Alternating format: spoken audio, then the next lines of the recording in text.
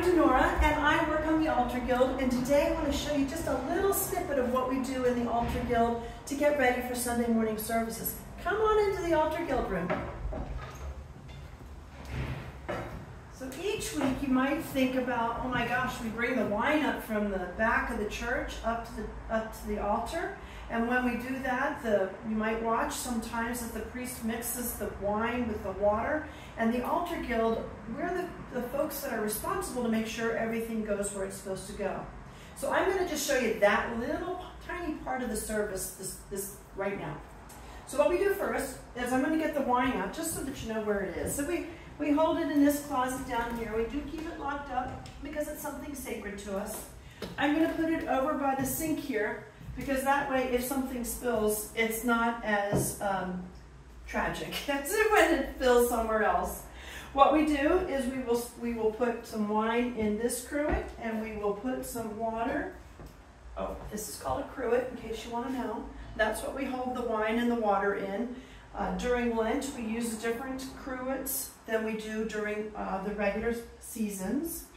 So what I'm going to do is I'm going to be very careful about pouring wine into the wine cruet.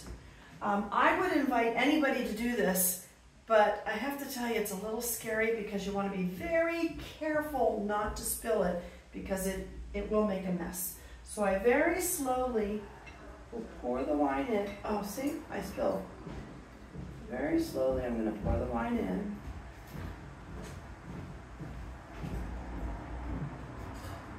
And we go about three quarters of the way. And then I'm going to cap it back up and put it back in its cabinet. And I will lock that back up again. And put the key away. And then I'm going to make sure that I did not make as much of a mess. Hold that thought here for a second while I go and get a handy dandy paper towel. Then I'm going to, I did make a mess, I'm going to wipe around it so that when we put this back on the table, it doesn't make the same mess that I've made on this table. Okay, so we've got wine. We're gonna have, we have a little bit of water. I'm gonna put a little bit more water into the, into the cruet. I'm gonna dry that off as well because we don't wanna make a mess at the altar. And then I'm going to tell you about the bread. So we have caps to put on top of the wine and the water. We toss that in there. And then we do bread. And so the bread, we will, we have some already cut up here. Let me show you that. So each week, uh, we in the Altar Guild, we, uh, somebody bakes the bread for us in the, in the church family. Somebody breaks the bread and they bring it to us. And when they bring it to us, we, we cut some of it. We don't cut all of it because you might remember that Reverend Sarah will bring the bread up and she prays with it throughout the ceremony and breaks it apart.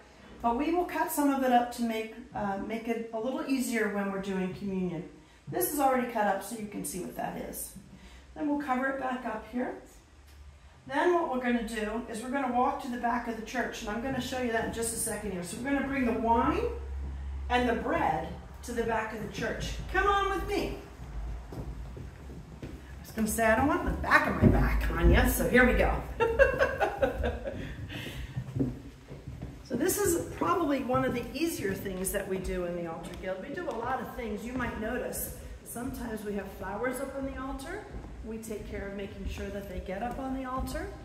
We make sure that um, that the table, that would be the altar, is set, meaning that there's a, a cup, also known as a chalice, is already up there for us, uh, well, for the ceremony.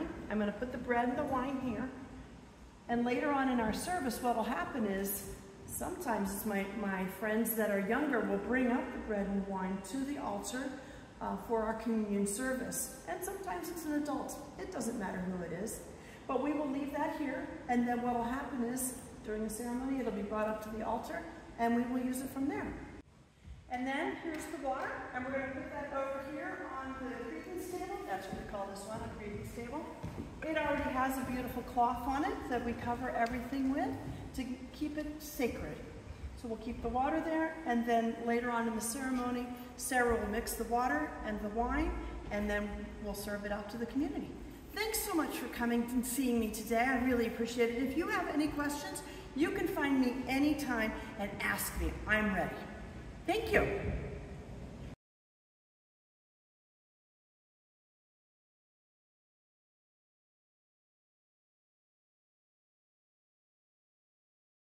Hi, I'm Linda McLaughlin, and I'm pleased to have you here. Fusi Bahulu, and I'm glad to have you here. Hi, I'm Siska Hansen. I'm part of the Altar Guild. Oh. No, it's fine.